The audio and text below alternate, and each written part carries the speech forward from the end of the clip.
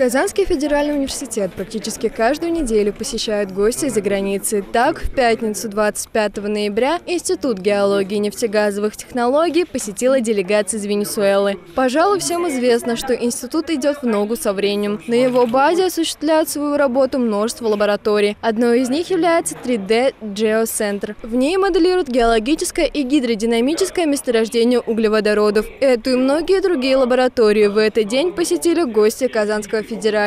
Директор института выразил большое желание сотрудничать в будущем с нефтяными компаниями Венесуэлы, так же, как и на данный момент проходит сотрудничество с кубинскими партнерами. Позже они обсудили планы на будущее и дальнейшие планы совместного сотрудничества, которые, они надеются, будут вполне успешными. Диана Шилова, Руслан Уразаев, Универ News. Thank